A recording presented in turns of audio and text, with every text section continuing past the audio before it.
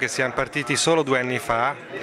ci sono realtà che sono partite prima di noi, ad esempio Torino ha una squadra già dal 2011, quindi eh, da cinque anni. A livello di diciamo, competitività siamo già a livelli eccellenti, la, la squadra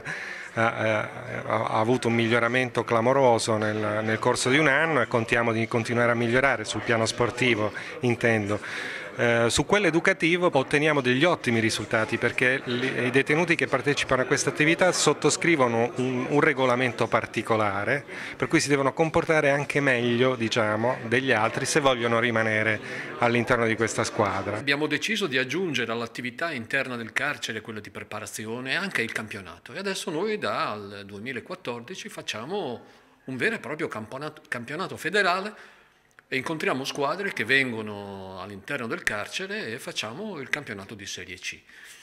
Quindi sia per quanto riguarda i detenuti che per quanto riguarda questi giocatori che entrano nel carcere una, nasce una, una, una, simbiosi quasi per cui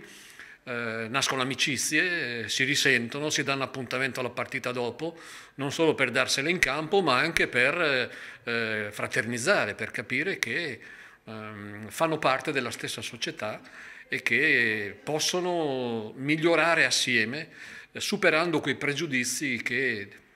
invece prevalgono nel, nel sentire comune.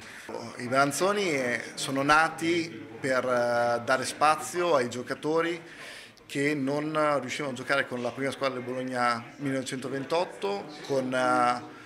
tutti gli stranieri che si avvicinano a Bologna per l'università per le, nuovi, le nuove persone che si avvicinano al rugby e anche per coloro che rientravano da infortuni. Ehm, I Balanzoni è un gruppo di diverse diciamo, etnie, di derivazioni diverse, ma con un unico obiettivo, quello di divertirsi e di creare un gruppo forte all'interno e fuori dal campo. Sabato è un derby, non sarete però neutrali? No, no, assolutamente no. Ovviamente noi compariamo come dire, sopra come marchio del torneo, ma la, non possiamo essere neutrali, saremo chiaramente tifosi, no, eh, chiaramente schierati per il giallo Dozza, a cui auguriamo di vincere in maniera netta la partita. Non manchiamo però ovviamente di fare in bocca al lupo anche all'altra squadra, però non saremo neutrali, questo senz'altro. È la prima partita eh, dove le due squadre si affrontano in campo eh, noi abbiamo partecipato al reinserimento di alcuni ex detenuti che sono venuti a giocare nei Balanzoni, ma come squadra e come, con, come partita è la, prima, è la prima in assoluto. Ci siamo mai incontrati con i Balanzoni, ma li abbiamo eh, invitati quest'anno a confrontarsi con noi e ce la giocheremo, ce la giocheremo. Noi crediamo che ce la possiamo giocare D'altronde nei campionati che abbiamo fatto ce la siamo giocati con tutti e nell'arco dei due anni di campionati siamo migliorati, i risultati ci aiutano e quindi i balanzoni devono venire preparati e coscienti che non gli sarà lasciato